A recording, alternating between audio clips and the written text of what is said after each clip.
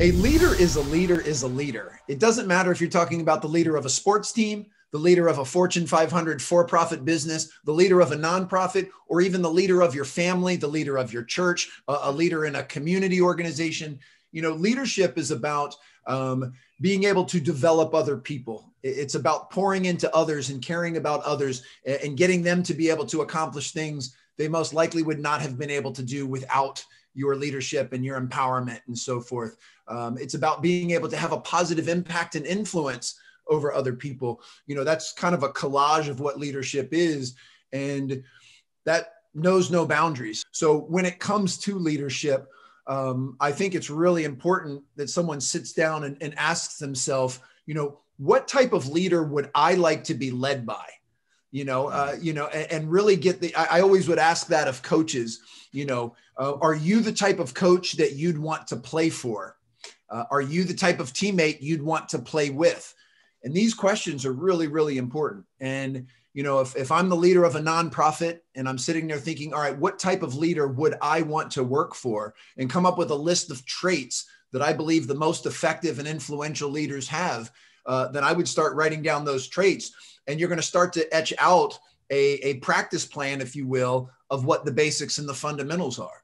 You know, if you're listening to this and you think leaders should be A, B, and C, then the next question is how well are you doing A, B, and C? And uh, what are the basics and the fundamental building blocks of being good at A, B, and C? And make sure you're working on those. Uh, I'll give you one example, and then you know listeners can certainly uh, decide for themselves.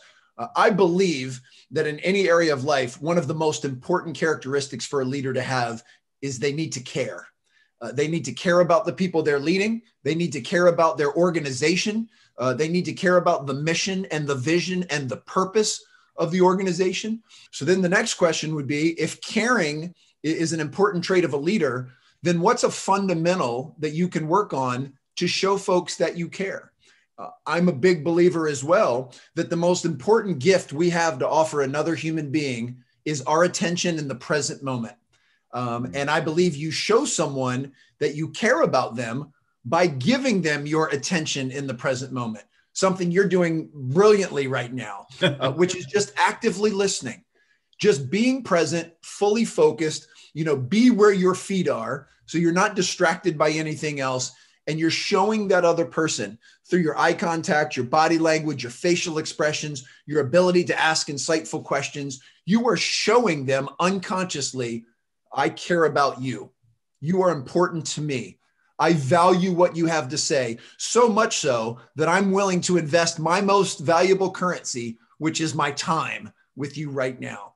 So, uh, if we kind of unpack this, uh, being in the present moment, listening and asking insightful questions is how you show someone you care. And caring is an important fundamental uh, of being an, a, a leader. So, how can we practice the skill of being more present and of actively listening. That I, I would equate listening uh, to the footwork example that we used with Kobe. You know, footwork is to basketball as listening is to leadership.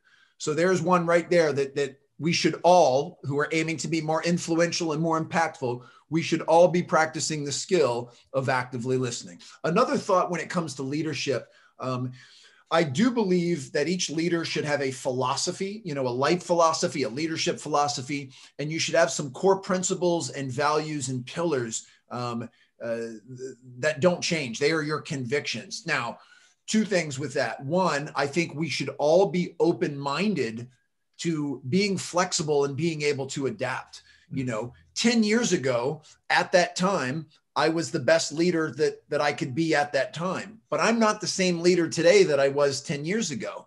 And that's because I've I've learned new information. I've learned new ways of doing things. I've tweaked. So even if you have some incredibly tightly held beliefs, I still think we should be open to learning other ways. Uh, and I also think that we should be authentic enough to be chameleon like in our leadership style that while your major pillars don't change um, if, if right now if, if you're leading 40 people in your nonprofit organization uh, i don't think you should lead each and every individual the exact same way Now, the overarching foundation should most likely include the same principles. Uh, and these are more nuances, particularly from a communication standpoint. But if I'm leading 40 people in the nonprofit space, it's a pretty safe bet that all 40 people don't have the exact same strengths and weaknesses. All 40 people don't have the same needs. You know, if if you're on my team, uh, you may require more of my time and attention than one of your teammates, uh, which means I should be willing to devote more time and attention to you because that's what you need when maybe one of your teammates doesn't.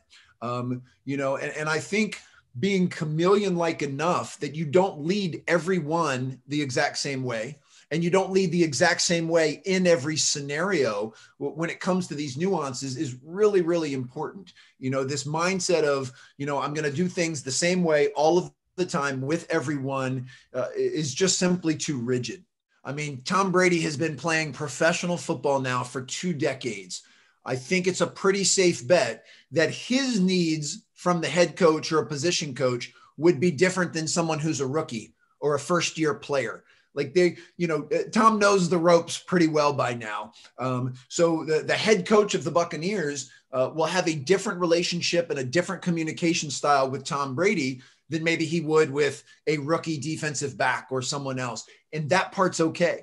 And I love that you hit that the foundational pillars, uh, being respectful, building trust, caring, those things are going to be uh, the same regardless. I mean, that is the foundation of you as a leader. But now let's make sure that the nuances, you know, we can we can tweak and we can customize and personalize for every single person on the team. And if anyone listening, um, if your nonprofit is is really scaled and you're a large organization, uh, I don't expect the leader uh, to have a personal relationship with all 642 members of the team.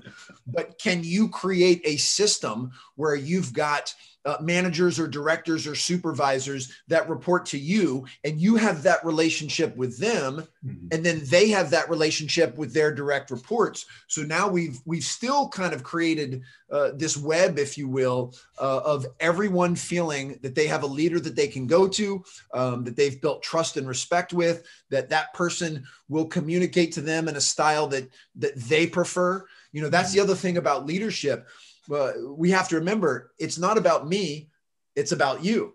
I mean, I mm-hmm. even said that that one of my hesitations to coming on the show was I wasn't sure that what I had was going to be of value to the other to your audience. And that's all that matters to me. The only thing that matters to me right now is that I'm adding value to your life personally because you're investing your time with me and that mm-hmm. collectively we are adding value to your listeners because they are investing their time with us. And we've already said that time is the most valuable currency. So I want to make sure they feel like it was a, a wise investment. Of course, I can go on any podcast and talk about what I want to talk about. That's easy. Just turn the mics on. I'm never short for words, but I only want to go on shows where I'm confident that I have something to add value to the other person because it's not about me, it's about you. And I think that's the leadership mantra 101.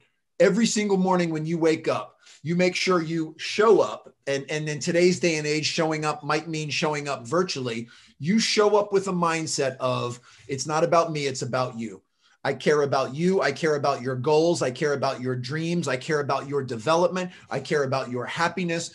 And, and if we can lead with that type of mindset, we'll get more buy in and believe in, and we'll become incredibly magnetic and attractive leaders. People will want to be on our teams because of how much we care about them.